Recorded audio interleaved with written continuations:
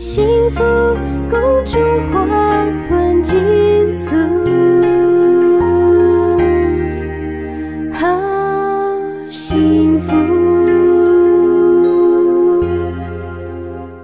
谢谢，感恩老师，感恩天地，感恩营院长。那，嗯，对，嗯，对啊，我那一天想说，因为，因为一直心里面一直想要去推广这个很认同的系统，很棒的一个系统，但是，呃，我觉得我在推广的过程里面想的太多了，就是会怕被拒绝。那所以，我以前就只是去有的时候啦，就固定一个礼拜去发发书这样子。那我一直记得营运长有说过。呃，去发书的的那个效果，真的是嗯也很也很重要啦。但是如果能真的顺利把人邀约来精英会的话，哎，那个效果会更好。那所以呢，我曾就想说，我觉得要因为我自己的想法也比较多一点点，我觉得要入要要宣传超马要入市，要看现在的人需要什么哦。现在人爱漂亮。又爱钱，那个，所以我那个照片，我从来除除了我妈以外，从来没有人看过，连我男朋友都不太想给他看。对，然后就想说，哎，那大家最喜欢差异化嘛，我就想说，那要不然就那个贡献一下好了，就是拿出珍珍藏已久，也没有很久，去年的事而已。去年就真的是因为自己有妇科的疾病，还有就是。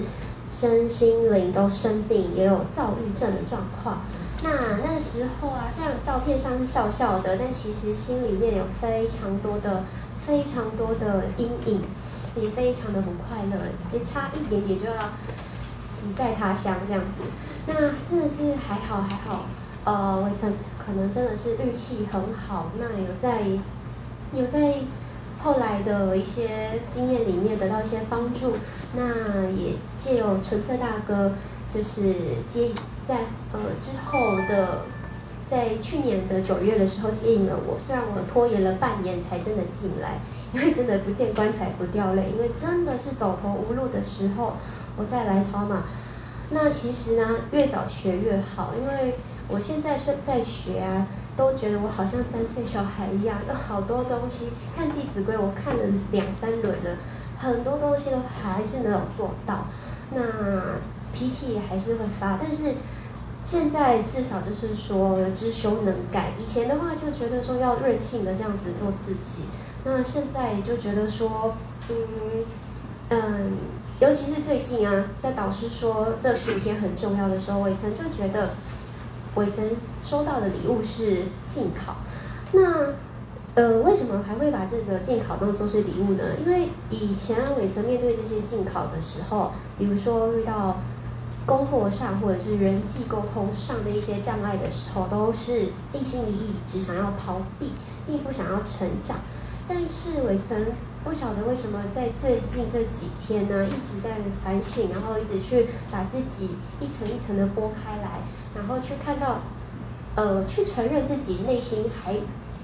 最丑陋的那一块，然后我只想要把它抓出来，把它根除掉。那以前呢，都放放纵它这样子长大，把那个肿瘤这样子一直这样扩大。那然后表面上好像还不错，但其实那一个肿瘤还在，那其实那个毒都还在。所以，呃，这个进考就在这十四天里面，在我的关系中啊，工作上，哎，来了很多的。呃，选择题这样子，那伟成也就是在这几天，不知道，可能，呃，也流了很多眼泪，可是还好还好有在超嘛，就是因为在充满能量，不管是听歌还是来营运讲的课程，都会听到伟成面临的难题的答案，真的非常的神奇，不管是透过家人的分享，然后还有呃，对，就是很多见证，然后都给伟都默默的在给伟成信心，那么伟成在转进。转念的时候就会比较快，那所以真的是非常非常非常感谢，呃，这个系统一直提醒伟成，就是说，哎，是时候了，呃，营院长说的，到究竟有没有做到位呢？那究竟有没有去实修？究竟有没有在每一个生活红红尘境里面去修好成绩单，我才可以擦亮我的招牌，也才可以擦亮超马的招牌。所以呢，我就希望说，哎，通过一个比较。差异比较大的一个前后对照组，我也没想到引起但那个召唤了很多人的前后对照组，是真的啦，好多人的，为什么？哎，他价值能够差很多，那所以就更有信心啦。超马真的是很棒的一个，